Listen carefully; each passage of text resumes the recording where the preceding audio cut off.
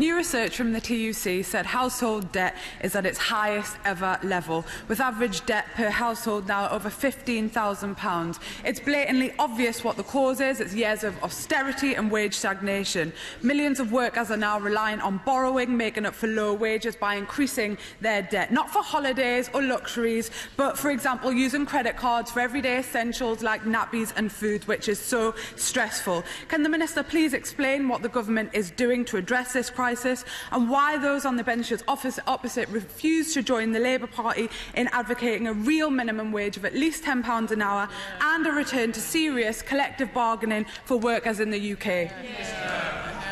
I heard uh, the news reports of this particular analysis. I also heard that it had been entirely discredited because it includes student debt, uh, which is not something that accrues to every household. And actually, if you would strip that out, the rate of accrual of household, well, would you like, honourably like to listen?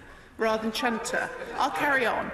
Uh, if, if you actually look at that stripping out student debt, which does not accrue to every household, then you see that the growth of consumer credit has actually slowed. And once again, I am very proud to stand up here and represent the government that finally did what her government, which had 13 years to not do, which was to introduce a national minimum wage and ensure that it goes up well ahead of inflation. Sorry.